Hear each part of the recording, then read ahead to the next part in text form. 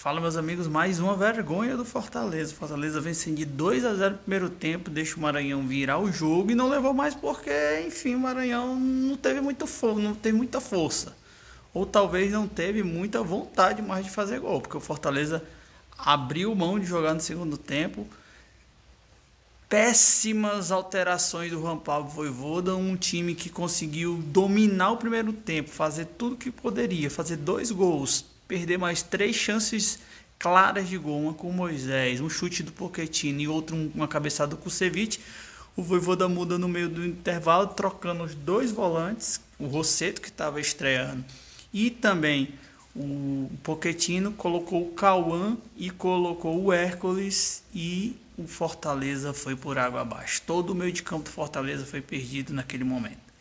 Cauã não entrou muito bem. Hoje não foi jogo para ele. Fez pênalti, entregou bola, não acertou quase que nada.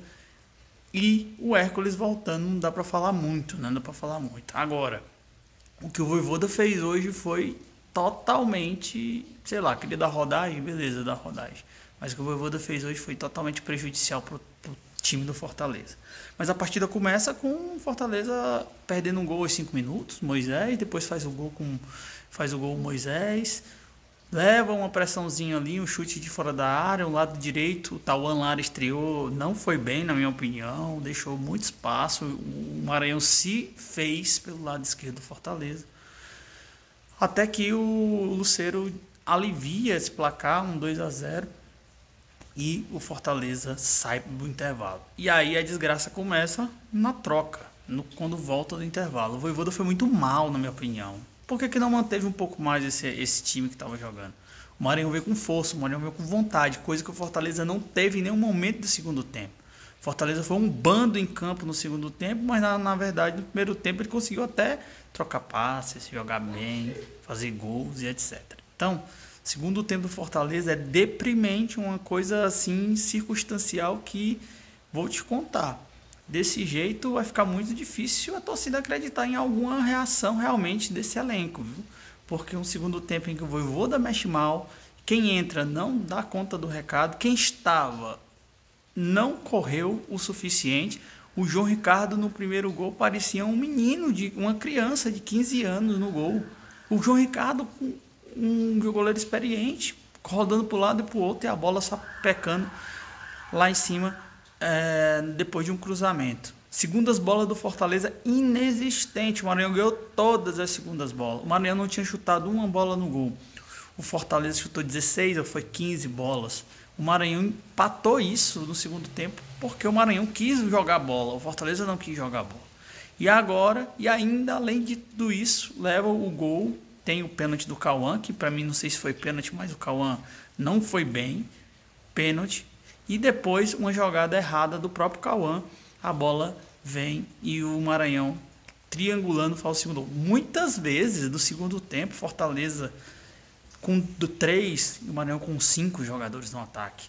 Assim, foi algo desesperador assistir esse segundo tempo do Fortaleza. Acho que apático, do jeito que o Fortaleza é de 2024. Muito ruim, horroroso e tem que se haver algumas mudanças, ó, tem que haver algumas coisas aí, tem que, conversa, ter, ter que ser conversado, que não, não dá pra gente ver. Um Fortaleza ganhando de 2 a 0 isso aí, um, um jogo derrotado de 3 a 2 quase perdendo na classificação. Só não perdeu porque os outros times é ruim também.